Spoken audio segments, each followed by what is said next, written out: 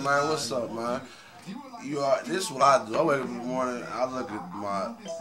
I go straight to my uh, gambling site. After I scratch my balls. Right. See, I ain't took no shower. My hair nappy and shit. You know, I ain't got my goals or nothing, man. You know, ain't none of this fabricated. This is what I. This is what I do. I'm a sports fucking fanatic, and I like to put money on them. It makes it a little more interesting. But you know, it's a little method to my madness. You know what I mean? Dirty house and shit. This shit will get clean later. Some some bitch gonna come over and clean this shit a little bit. He's a gambling addict. He's a gambling addict. He needs help. Take him No. celebrity Only help I need is if you got an inside tip on who the, whose girlfriend is the, or the point guard or something. You feel me? That's the help I need.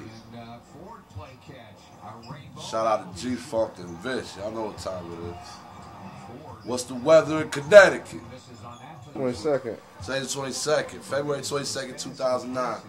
And we got LA Lakers playing Minnesota Timberwolves, score over 219. I'm putting a yard on it right now.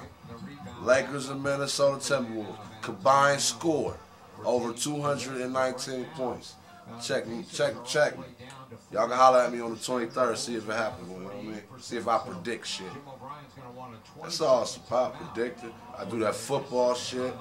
I do that baseball shit. Tahada, me speak no English, you know all that shit. I'm all of that. You look, look at my TV right now. One of the TVs. Watching the Bulls and the Pacers. We don't fuck with hockey though. Come. No hockey. You understand? I'm watching the Bulls and the Pacers. I'm from West Virginia. I have no loyalty to these teams. I mean, the, the Bulls is alright. Pacers is up and coming. The average person wouldn't be watching this. The average sports fanatic. You? I, as long as they run up and down that court, they run up and down that field, they throwing something, they catching something, they showing some type of athleticism, and they click numbers up on the side of the screen. I Love that shit. Love that shit. You know? And every now and then I make a little grip off that motherfucker too.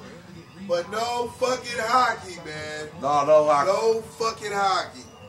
No hockey. Sometimes golf and tennis only when Venus and Serena playing. That's it. Hey, I bet on hockey too, man. I ain't gonna lie, I bet on hockey too. But it's cause the numbers is kind of What, slim. what's the last hockey game you bet on? Last hockey game I bet on.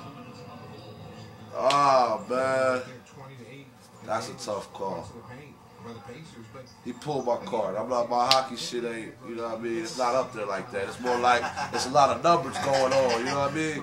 So if I'm looking on here, Take that part and, out. uh, no, He said, "Put- no, Crosby's a beast. Crosby's a beast. That's the dude Lemieux. You know what I mean? I put on anything. I put anything on that that nigga play.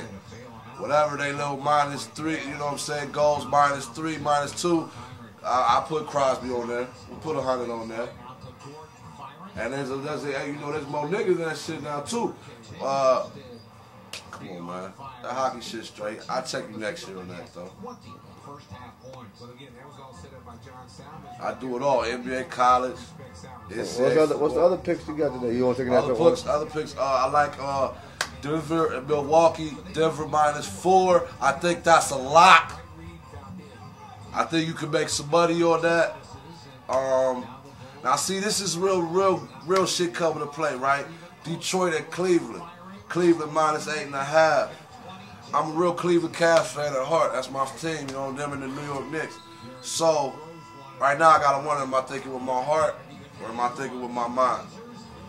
My, you know, so I want to tell you, take that Cleveland minus eight and a half because they're gonna beat Detroit by nine, especially at the crib. We we like 28 and one at the crib this year. So, I think that's a good bet. But because that is my favorite team, they say you might be a little biased. So I want, you know, that's just a little tidbit. Still betting motherfuckers. Or, you know, it's like, it's 11, I mean, it's Sunday at like, time? One o'clock in the afternoon. You know, I've been up since eight. Went to bed at five or something. You know what I mean? And this is a beautiful day for me. The sports on all day. So that's the thing about the weekend. You know, uh, Saturdays and Sundays. It's like you wake up and they they they they balling from like noon to like one in the morning, the night. You know, all across the country, the world, whatever. So from the spectator aspect, I get entertainment all day. All day. Only thing I'm missing is a little food, you know what I mean? A little drink, and it's coming. Like I said, I just woke up, looked at naps and shit. You know, I got I got my gym. Hold on, this is my my everyday get up fit. You know what I'm saying? I'm an ex I'm an ex hooper. You know what I mean? So I always got basketball shorts on, shit, feel comfortable. You know what I mean? And you know, That's a lot of space for my balls. right? That helps too. So Woski, Woski. So I'm here, and you know, weekend gambling. That's that's my shit, man. If it was up to me, I would I would perform Monday through Thursday, and Friday through Sunday would be straight sports, entertainment, and uh, sports books. That's the perfect world for me. Unfortunately, most of y'all motherfuckers like to party on the weekend, and we gotta do shows and shit.